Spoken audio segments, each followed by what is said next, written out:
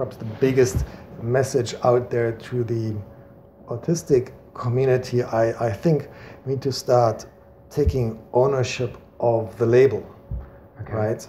Um, it makes no sense to have this label uh, left in the hands of the autism professionals. That's anachronistic uh, from my perspective. Okay, welcome to today's Aspie interview. Today we are joined by Jorn, who has a son on the spectrum, and both him and his wife identify as being on the spectrum as well. Uh, he started his own business about 15 years ago or so, mm-hmm. uh, which is now a completely non hierarchical, collaborative venture uh, that has a focus on being um, neuro, neurodivergent and neuro-friendly and something like that. Anyway, that's enough for me talking for for um, for an introduction. Mm-hmm. So, thanks for coming along, Jorn. Oh, thank you, Paul, for inviting me to your interview series. Looking forward to the conversation. Uh, so the question I like to start with is, uh, what do you like most about being on the autism spectrum? Mm-hmm. Um, well, if you're autistic, um, you tend to uh, be able to, to focus and dive deep into certain uh, subject matters. And I think if I weren't on the spectrum, I wouldn't uh, know nearly as much about the, the things that I've uh, been involved in over the decades. Uh, so just the depth of knowledge that I've been able to accumulate is something that I really uh, value and that I think is actually valued by other people as well, it seems. And what are some of those special interests that you've had? Um, well, uh, I've studied mathematics originally, um, and so my uh, deep interests are, uh, on the one hand side, in conceptual modeling, um, then in the uh, development and use of uh, visual domain specific languages. So that's a very technically sounding topic, but it turns out to be uh, highly uh, relevant if you're dealing with uh, software and data intensive systems. So uh, developing new visual languages is like my bread and butter. New visual languages. Yes. Okay, cool. Mm-hmm. Um, and then, of course, over the last uh, decade, uh, since I discovered the autism spectrum, um, uh, you, you, could say that uh, human social behavior at all levels of scale has become a special interest. Okay. Um, and what's your what was your journey to discovering you're you're on the spectrum yourself? Um, yeah, very interesting question because obviously I'm uh, within an age bracket where autism didn't really exist uh, when I was a little um, child. So uh, and I, I think uh, you mentioned this in one of your videos. Uh, you, you read uh, Look Me in the Look Eye. I, yeah. yeah, I, I read that book when it came out, and at the time only a few things registered, uh, so this wasn't the big eye mm-hmm, opener. Mm-hmm, mm-hmm. but um, then, within I think the next year or so, I um, was surprised by the, the way in which my son insisted on taking very specific trains, even if there would have been an earlier train because we were early enough at the station. So, and then I ended up reading more, and I well stumbled across the the autism quotient test, and uh, well that landed me in the autist clearly in the autistic uh, territory, um, and then I uh, but as of course this is just an online test, so I've done a lot of reading, um, and it became clearer and clearer. Um, but um, I, at the same time, I then became aware of all these negative stereotypes mm. that are out there floating around, and so I didn't see a need for for any particular labels, or also not for a, for a diagnosis. Okay. Because uh, I mean people uh, who are different in other ways, uh, like uh, gay people. I mean, they don't go to a doctor to be diagnosed, right? Yeah. So, just uh, because I've discovered that my cognitive lens differs from uh, the cognitive lens that most people seem to have, or no two cognitive lenses are identical, but if you've got a cognitive lens that's further out uh, from what is considered typical, I mean, that uh, doesn't mean that uh, anything needs to be fixed or changed. I mean, as I was saying earlier, I don't. Uh, I think it's a huge advantage to uh, have these divergent cognitive lenses, and uh, actually, if you look uh, across the literature now, even beyond autism, I mean, mm-hmm. this is starting to be recognized now, uh, also in the in the business world. I mean, they're taking baby steps towards uh, neurodiversity, but nevertheless. Okay, and your son did go through that diagnosis process? Um, many many years later because again we didn't see any need to to uh, uh, subject him to any kind of therapy because from mm-hmm. our perspective i mean he was just the perfect son okay um, and it's only later uh, where I think when he started going to secondary school, we just uh, wanted to have uh, an assessment so that in case he needed accommodations, uh, mm-hmm. that uh, we can have a no nonsense discussion yeah. with the, the teachers.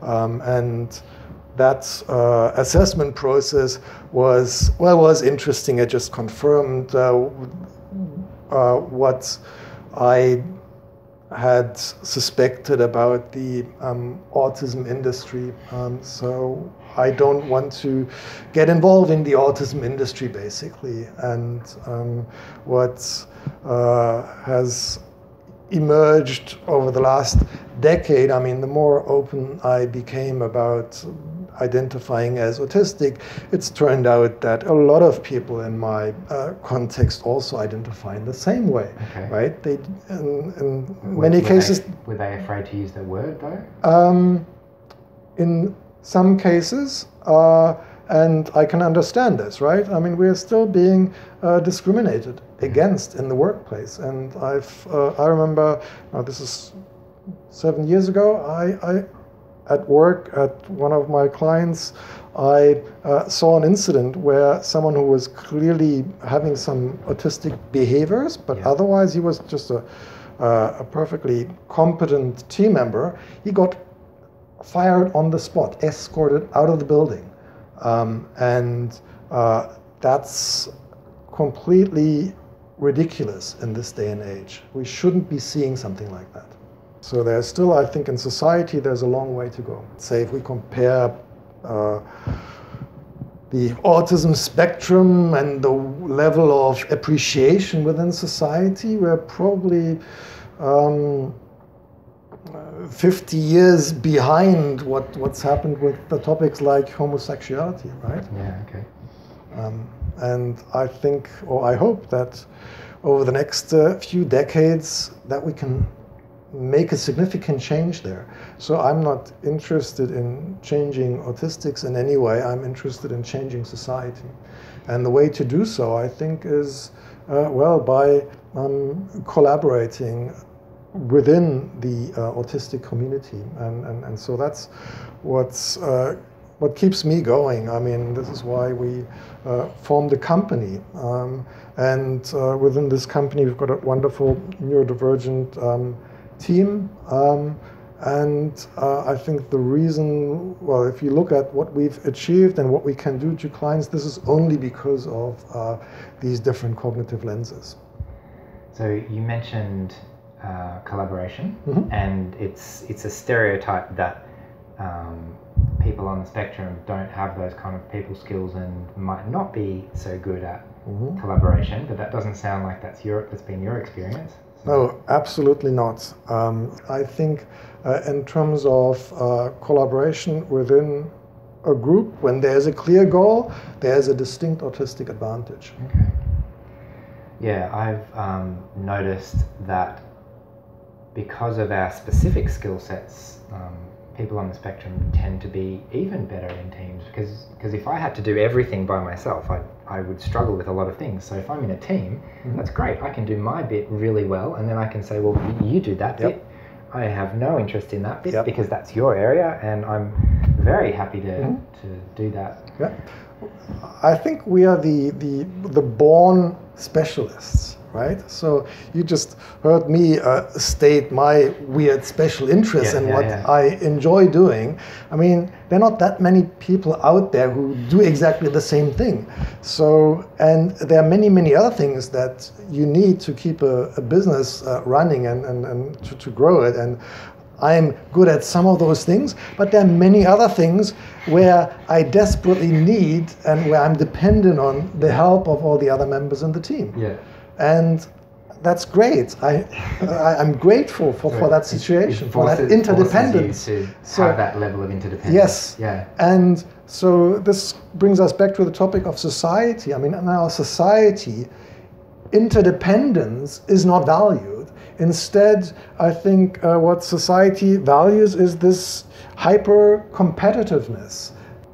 So what? So what's the secret to helping a group of people work well together?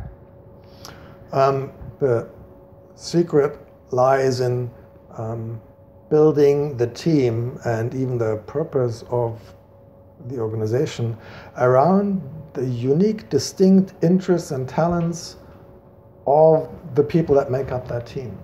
Okay. Um, so this comes back to what we were discussing earlier that you're happy to do those things that you're really good at, Yeah, right? yeah. I'm happy to do the things that I'm really good at. And well, let's just be creative and put these things together and see what we can achieve with them if we combine forces. Of course, everyone has their, their uh, self interest, but I think what's easy to forget is that, in particular, uh, with uh, autists or Aspies, um, and for that matter, anyone who's intrinsically motivated, uh, the, the self interest is not necessarily a, a financial one.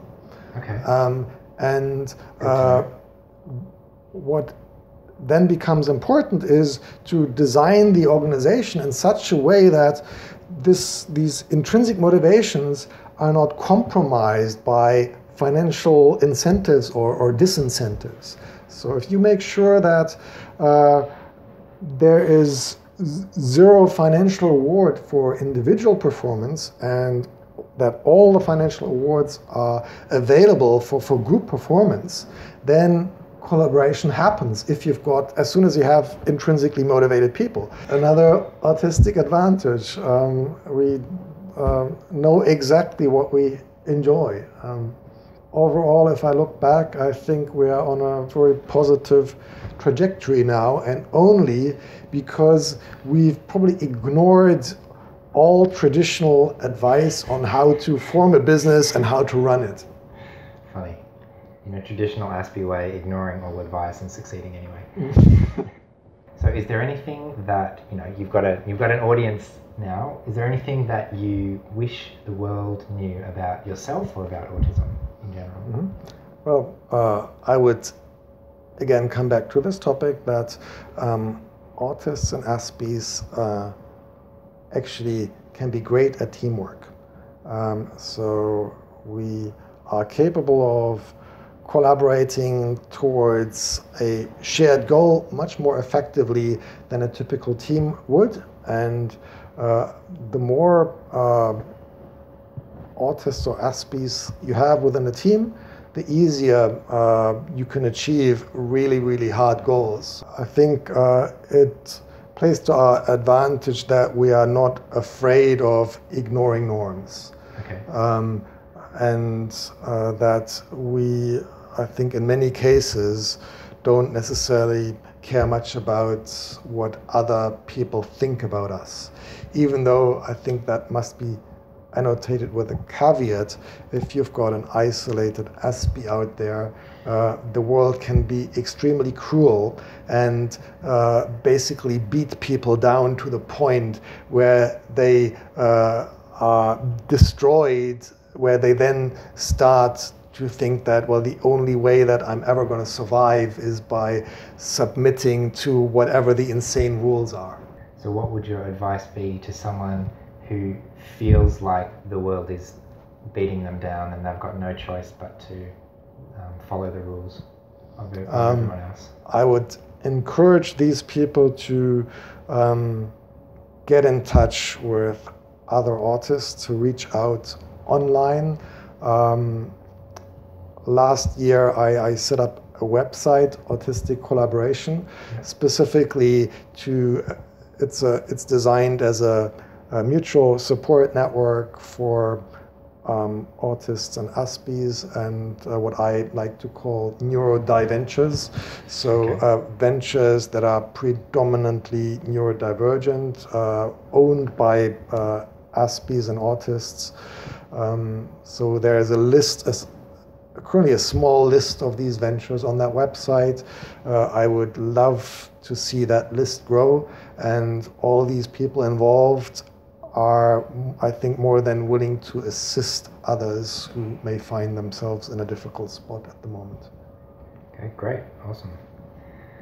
Uh, well, thanks, Jorn, for joining us today. It was really interesting to hear how um, some traditionally autistic traits can actually be such a big advantage in trying to collaborate together and do some of those quite innovative things that you're that you're pioneering. I would say in, in your business. Um, so hopefully you've enjoyed this interview and stay tuned for more Aspie interviews later in the year. Okay, bye. If you like this video, please give it a thumbs up and hit subscribe for weekly content just like this one. If you'd like to get even more involved, you can join the discussion on social media or support me by becoming a patron. Finally, I value your time and you'll notice all my videos are ad-free, so please help me to cover what you want to hear by leaving me a comment and telling me what you think. So thanks for watching and I'll see you another time.